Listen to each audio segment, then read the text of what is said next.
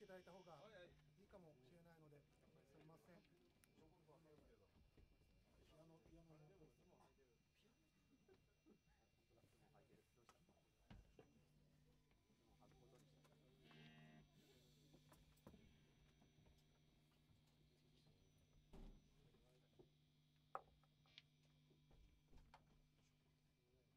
じゃあなぜやります。ちょっと時間なくなっちゃったんでちょっと飛ばします。けどよろしくお願いします。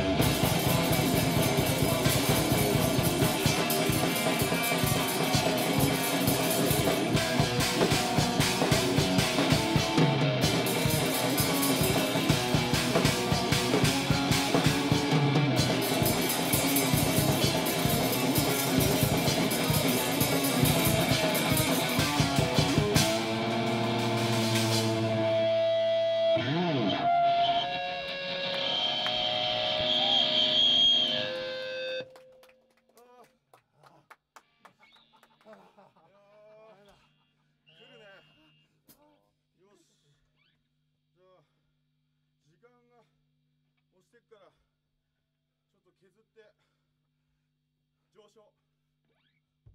上昇。上昇。上昇やります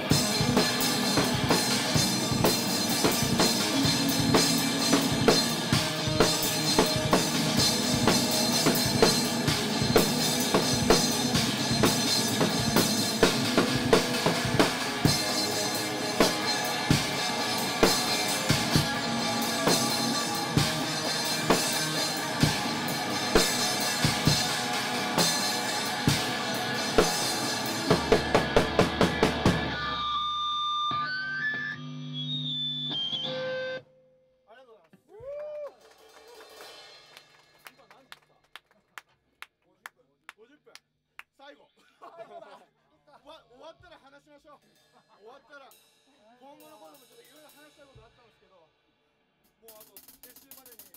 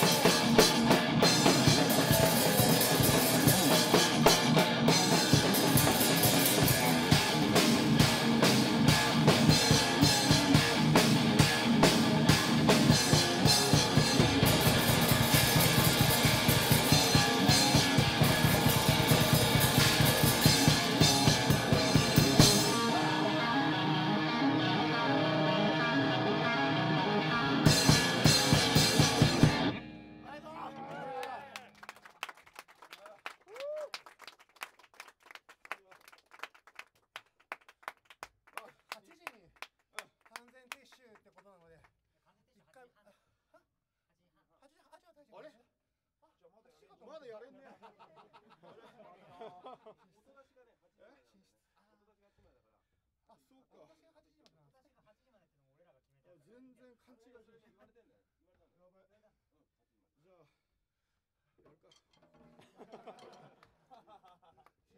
あと1曲だけあと一曲。そうか。いや人生っていろいろあるじゃないですか。あの本当ね狂気っていう言葉で片付けちゃいけないんですよ。やっぱ正気でやっていかないと。もう人間正気をなくしたらね死んだも同然。あのなんだろうこのバンドもね5年6年目？もういいか。いやいやちょっとちょっと。いやいや、まあ、本当にあっという間に時間なんて過ぎてって、で、いろいろ皆さんね、あると思うんですけど、あのいいんですよ、どんな生き方でも。ただ、しあの正気で生きてか生きていかないとダメなんですよ。あの別にこれ、宗教とかさ、そういうあのまどろっこしい問題じゃなくて、あの人間としてのね、本念ですよ、本当に。あのね、私も結構宗教勧誘されるんですよね。で、なんかすごくね、いや、酒井さん、あの酒井さんの幸せはここにありますよみたいなふうに言われて、結構何度も断ってるんですけど、あの別に宗教をね、否定するわけなんて必要もないし、だけど、分が生きてきてやれることって限られてて、で、俺はもう、どんな生き方にしてもね、音楽しかないんですよ。あの普段は主にサラリーマンのコスプレしてるんですけど、あの本と思ってる俺の居場所じゃないと思ってるあのだけど一応こう20代はずっとさバイトしてなんかやってきたんですけど、ね、体はボロボロになるわ手はボロボロになるわ。あーちょっと職でも見つけっかなみたいなノリでね職職業ついてけどやるからにはお客さんもいるしやっていかなきゃいけねえなって思うんですよ。でそれはやればいいんですよ。だけどね自分の本音はね仕事じゃないんですよ。音楽なんですよ。で小川さんもねさっきクズ自分の音楽にあの集中する時間があの増せば増すほど社会的にクズになるみたいな話してましたけど言葉のねニュアンスは違えどなんか感じてる部分は一緒で自分もねなんか言葉にあえて出せ出しはしないですけどあのやっぱり変な話普段ね仕事なんて全然行きたくないですよ。全然モチベーション上がんない。だけど音楽あるからやってるしなあカニな。まあ本当にバカらしいことばっかりでさ何なんだこいつらって。回全員ぶん殴ってやろうかなって思うんですけどけどそれやっちゃうとさダメなんだよ。それやっちゃうとダメなんだよ。